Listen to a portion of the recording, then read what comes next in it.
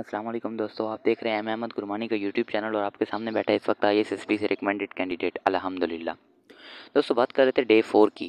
सबसे पहले तो अगर मेरी आवाज़ में आपको मतलब लग रहा है कि मैं ऐसे ऐसे बोल रहा हूँ तो इधर सुबह शादी का वक्त है, मैं कह रहा हूँ कोई जाग भी ना जाए। चलो जी, आपके लिए वीडियो बना रहा हूँ। तो सबसे पहले ये तो आई के रूल्स के मुताबिक हर दफ़ा हम ये डिस्क्लेमर दे देते हैं। और उसके बाद हमने ये बात करनी है कि आपने चौथे दिन सुबह सबसे पहले उठना है। ठीक है जी? चौथे दिन आपने सुबह रिक्शे वाले भी आ जा रहे हैं अब शोर मचाते रहेंगे, आप बात सुनते रहें। आपने सुबह सबसे पहले जल्दी जागना है और उसके बाद ब्रेकफास्ट करना है, नहाना धोना है, जिस तरह मैंने आपको बताया था। उसके बाद आपने ब्रेकफास्ट ना थोड़ा सा हल्का कर लेना है, बिल्कुल टाइट होकर नहीं करना, क्योंकि आज जो है ना आपने कमांड टास्क ग्रुप टास्क और बाकी बहुत से काम करने हैं और आपने जो है ना पी टिकट पहन लेनी और चले जाना। आपका सबसे पहले होगा सेमी ग्रुप टास्क या कमांड टास्क पहले जाता है, ये मर्ज़ी होती है। सेमी ग्रुप टास्क के अंदर ये होता है कि हाफ़ ग्रुप टास्क जिससे आपको लग रहा है semi half half group task half group task में ये होता है कि छः का जो आपका ग्रुप है ना छः छः का बन जाएगा। तेरह तेरह, बारह बारह के जो ग्रुप्स होते हैं, वो छः का बन जाएगा। छः एक दफ़ा आएँगे छः दूसरी दफ़ा आएँगे। तो हमारी बारे में हाफ़ जब हुए थे ना तो जो दूसरा हाफ़ था जिसमें मैं नहीं था, उन्होंने सेमी ग्रुप टास्क पूरा किया था। हमारे वाले हाफ़ ने सेमी ग्रुप टास्क इनकम्प्लीट किया था। लेकिन फिर भी देखो, मैं रिकमेंड हो गया था। ये इस बात पर डिपेंड नहीं करता कि आपका ग्रुप क्या परफॉर्म कर रहा है। डिपेंड ये बात करती है कि आप क्या परफॉर्म कर रहे हो और आपके ग्रुप में पोजीशन क्या है। वो हम आगे फिर डिस्कस करेंगे मज़ीद इसके बारे में। तो उसके बाद हमने कहा, आपने कमांड टास्क के लिए आ जाना है। सेमी ग्रुप टास्क के अंदर थोड़ा सा बता देता हूँ, वो इस तरह होता है कि आपने हाफ़ ग्रुप ने दीवार पर चढ़ना होता है रस्से फलांगने होते हैं, जिस तरह आप जो है ना फौजियों को करते हुए देखते हैं आम रूटीन के अंदर। इसके बाद आपने कमांड टास्क के अंदर आना है। कमांड टास्क के लिए अंदर ना चालीस पचास, बहुत बड़ा ग्राउंड होगा। चालीस पचास टास्क की जगह बनी हुई होंगी। उसमें जो है ना आपने ग्रुप के अंदर बारी बारी आपकी कमांड आएगी। तो बता चुका हूँ कि जब जो काम आए, उसको उसी तरह से अंजाम देना है। जिस वक्त आपकी कमांड आएगी ना तो आपने ऐसे समझना है कि आप जो है ना कमांडर हो। और बाकी जो है ना, वो आपके जूनियर्स हैं। तो उनको कमांड की तरह से ट्रीट करना है। तो वो बारी बारी मौका देंगे। सबसे पहले कहेंगे, किसने आना है? मेरी पता है क्या कमज़ोरी है? मैंने सबसे पहले हाथ खड़ा नहीं किया किसने आना है। पहली बारी कोई जाने को तैयार ही नहीं था, हमें पता नहीं था कैसा होता है। पहली बारी वो कहे ना बुलाने का तो चले जाने से कॉन्फिडेंस शो होता है आपका।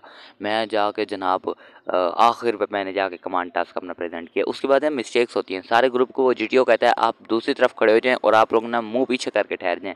इधर देखना नहीं है। और जीटीओ कमांडर को बुलाता है, उसको इंस्ट्रक्शन देता है, उसको दौरान ही उससे छोटा सा इंटरव्यू भी ले लेता है। काबू रहना है। जीटीओ हर वक्त आपसे इंटरव्यू लेगा, हर वक्त पूछेगा। जीटीओ को जिस बंदे ने जीत लिया ना, वो बड़ी हद तक आई सी में एक पॉइंट होता है। और ना मेरी सबसे बड़ी खूबी ये थी कि पाँचवें दिन ना जीटीओ जो है ना, वो मेरा फ़ैन हुआ हुआ था। लव जी। कभी सुना किसी का जीटीओ फ़ैन हो जाए? वो मेरा हो गया था। तो जीटीओ को जीतना है। उसके लिए आपको ये करना होगा कि तसल्ली से जीटीओ की बातें सुने, अगर वो छोटा सा इंटरव्यू ले रहा है तो उसको इंटरव्यू दे दें प्रॉपर सा। उसके साथ इंग्लिश में बातें करें जो बात करें उसको थोड़ा किसी हद तक सेटिस्फाई करने की कोशिश करें। तो जब जीटीओ को आपको ले जाएगा कमांड टास्क लिए आपको जगह बताएगा और कहेगा कि आपकी टीम ने इधर सीधा जाना है। इससे पहले बता चुका हूँ कि प्रोग्रेसिव ग्रुप टास्क आप ग्रुप टास्क में अपने कोऑर्डिनेशन के साथ चलना है, लेकिन यहाँ यहाँ आप कमांडर हो। आपने कमांड करनी है और सारे ग्रुप को पार करवाना है। और याद रखना कि कमांडर को इंटरमीडिएट दरमियान में जाना चाहिए, लेकिन हमें जीटीओ कह रहा था कि यार तुम लोग पहले पहले जाओ कमांडर पहले जाए। तो अगर जीटीओ वैसे आपको दरमियान में जाना चाहिए, लेकिन अगर जीटीओ आपको कहना भाईजान कमांडर साहब, आप पहले जाएँ तो फिर आपने आगे जाना है। और जिस दौरान आपको कमांड टास्क हो ना उस दौरान याद रखना कि आप कमांडर हो फाउल हो जाए तो जी कहते हैं, मुझे बता देना फाउल तो इसका मतलब ये नहीं है कि आप कहना शुरू कर दो, दरमियान में ही रुकावट डाल के सर फाउल हो गया ये नहीं करना आपने। आप जब कमांडर हो ना तो जीटीओ भी आपके अंडर कमांड है। ठीक है? मैंने आपको बताया, हर काम करते हुए वैसा प्रेजेंट करना है कि आप वो शो कर रहे हो, कि आप कमांडर हो उस वक्त। तो आपने उस वक्त, अगर आपसे फाउल हो जाए तो ऊँची बात में कह रहे हैं कि dare companions we have caught a foul so we are going to correct it जी को नहीं बताना फाउल है, ऊँची बात में बोल देना तक जी को पता चल जाए। ठीक है? बस सिंपल तरीका। और जो है ना, आपने कमांड टास्क के अंदर ज़्यादा भेजा मुस्कुराना नहीं है भेजा जो है ना जीटीओ को नहीं देखना। कमांड टास्क का आसान सा तरीका ये होता है कि आपने जब कमांड करनी होती है ना तो आपने टोटली इंग्लिश में बात करनी होती है। सबसे पहले मेरी भी एक गलती थी यहाँ पे, वो मैं आपको हूँ, गलती नहीं ब्लेंडर था पूरा। तो सबसे पहले जीटीओ आपको बताएगा कि आपने इसी रेंज के अंदर अंदर ठहरना है। आपने जो है ना थोड़ी देर तक अपने ग्रुपमेट्स को कॉल करनी है तो ऊँची आवाज़ें बोलना है, ठीक है? जो भी आपका ग्रुप हो, काम हेयर करना है। एक्टिव बंदा रहना है ना, आप शो करेंगे आप एक्टिव हैं सबसे ज़्यादा। क्योंकि अगर आप बाकी छोटी सी जसामत जिस तरह मेरी सी सुको पतलू से हैं तो फिर तो आपकी आई एस एस बी भी मुश्किल हो जाती है, क्योंकि इतने पतलू बंदे को ना वैसे भी यार कोई बात ही नहीं सुनता, समझता। कोई पतला इंसान है, छोटा सा फिजिक है, उसकी तो लोग समझते हैं, यार ये जो है ना, इसको इसको छोड़ो, जिसकी बारोब शख्सियत है, उसकी बात सुनी जाती है। और आपने प्रूव करना है कि आप इस काबिल हो कि आपकी बात सुनी जाए, अगर आप छोटे मोटो से हो। हाँ मुझे लगता है अगर मेरी ज़्यादा बार शख्सियत होती तो मेरी आई एस एस भी ज़्यादा आसानी से हो जाती, लेकिन खैर, वो बात की बात अभी हम लोग डे फोर पे थे। तो आपने बुलाना है, अपने ग्रुप को कॉल करनी है, वो सारे आ जाएँगे। उनको ऊँची आवाज़ में इंग्लिश में प्रेजेंट करना है कि हमारे ग्रुप के साथियों कंपेनियंस, हमारा ये मामला है, हमने इधर से इधर जाना है फिर दरमियान में पूछ लेना है। ये नहीं है कि ज़्यादा प्रधान बनो और अपनी अकल पे ज़्यादा बिलीव करो। पूछ लेना है कि क्या किसी के पास कोई बेटर राय है? मैं तो ये सोच रहा हूँ यूँ हो जाए, किसी के पास कोई बेटर राय है? इससे ये फ़ायदा होगा कि उनमें से अगर किसी बात अच्छा सा आइडिया होगा तो वो अपनी जो है ना नंबर बढ़ाने के लिए पॉइंट्स बढ़ाने के लिए खुशामदी डड्डू बनने के लिए ना, वो अपने जो है ना बता देगा। इससे फ़ायदा आपको भी हो जाएगा, आपने राय भी पूछ ली और आपने जो है ना लोगों की, अपने कंपेनियंस की और इसके साथ साथ आपने जो है ना अच्छा सा प्रेजेंट करके पास कर लोगे। लेकिन हमारे ग्रुप में एक ने भी प्रेजेंट नहीं किया कमांड टास्क किसी का भी पूरा नहीं और मेरा तो बिल्कुल ही फ्लॉप हो गया जी टी दरमियान में कह दिया, चल तू दफाओ लेकिन फिर भी रिकमेंड होगी यार कमांड टास्क इंपॉर्टेंट नहीं होता, आपका ओवरऑल परफॉर्मेंस कितनी इंपॉर्टेंट है? और मैं आपको बता चुका हूँ, मेरा lecturette group discussion group planning ये अच्छी थी। ये मेन चीज़ें होती हैं कमांड टास्क मेन चीज़ नहीं होती, बस आपने इंग्लिश भी ज़्यादा बोलनी है। कमांड टास्क पूरा किसी से भी नहीं हुआ, मेरे से भी नहीं हुआ तो इसमें कौन सी बड़ी बात है? जब भी जब सबको बराबर पॉइंट्स मिले तो मुझे भी मिल गए उनके बराबर, बस। और एक तो लोग ना परेशान बहुत ज़्यादा हो जाते हैं। एक नहीं हुआ काम, क्यों परेशान होते हो? Relax just calm down next step पे जाओ। आपके लिए बहुत लाइफ की अपॉर्चुनिटीज़ है, बहुत कुछ है। मुझे तो पता था मेरे पीछे पीएमसी मेडिकल कॉलेज में एडमिशन हो गया। मैंने कहा, चल यार, जाना वहीं पर ही है थोड़ा सा आई को जो है ना इन्जॉय करके देख लें। जब इस तरह जाओगे ना तो आपसे आई एस भी आए, हाय हाय मज़े के साथ क्लियर हो जाएगी।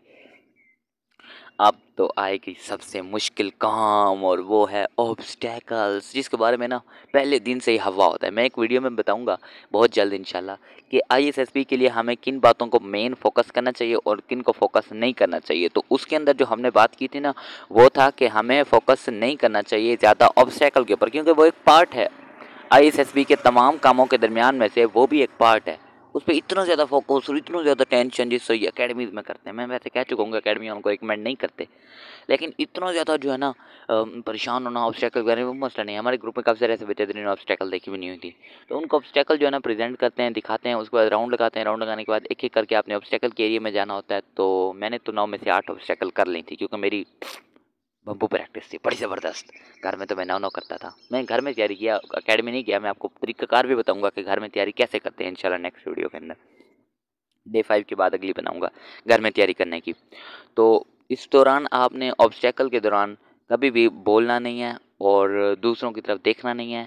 जब आपके लिए सिटी बजे, आपने वहाँ पर जाना है ऑब्स्टेकल जी पूछेगा कि तैयार हैं ऑब्स्टेकल करने के लिए? यस सर कह के जैसे ही वो सिटी बजाय रवाना हो जाना है और दो मिनट के अंदर प्रेजेंट करना है कि आप कितने चुस्त हैं एक्टिव हैं, इस बात से कतः नज़र कि आप गिर पड़ते हैं, आप जख्मी हो जाते हैं, कोई नहीं ऑब्स्टेकल करें नंबर हासिल करें। ठीक है? और मेरा खुद का बुरा हाल हो गया था, उल्टी आ गई थी मुझे डॉक्टर के पास उठा के ले गए थे। लेकिन मेरे ऑब्स्टेकल के नंबर तो कहीं नहीं गए ना, वो तो लग गए। चलो डॉक्टर भी अवेलेबल होता है टेंशन लेना नहीं। उसके बाद आप चलेंगे मेस में आपको एक मज़ेदार वी आई पी किस्म का जूस पिलाएँगे। हाय हाय हाय। मतलब जूस जूस होता है। ये नहीं है जो हम यहाँ से डब्बे वाला पी लें वो नहीं होता चीज़ होती है। उसके बाद आपने ना मज़े की बात तो ये है कि अगर आप डे फोर अच्छा सा करना चाहते हैं ना ठीक है आप चाहते हैं मेरा डे फोर अच्छा सा गुजरे तो इस चैनल को सब्सक्राइब कर दें। लेकिन आ, अगर नोटिफिकेशन नहीं चाहिए तो घंटी का बटन ना दबाएँ वो आपकी मर्ज़ी है। सब्सक्राइब तो कर दो ना यार। इससे ये होता है मुझे कॉन्फिडेंस मिलता है। अगली वीडियो बनाऊँ। यार सब्सक्राइबर बढ़ रहे हैं। दिन में इतनी दफ़ा देखता हूँ कि कितने सब्सक्राइबर बढ़ गए हैं। हाँ तो लाइक भी कर देना वीडियो को, कुछ नहीं होता। इतनी मेहनत से तैयार करते हैं, इतनी देर से सुनसान जगह तलाश करूँ जहाँ बैठ के वीडियो बनाऊँगा, फिर भी ये रक्षे वाले मोटरसाइकिल वाले आ रहे हैं। तो देखो ना, यार, थोड़ी मेहनत करनी पड़ती है, आप भी लाइक कर दो। ठीक है अच्छा मिलते हैं इंशाल्लाह नेक्स्ट वीडियो में। अल्लाह हाफिज़।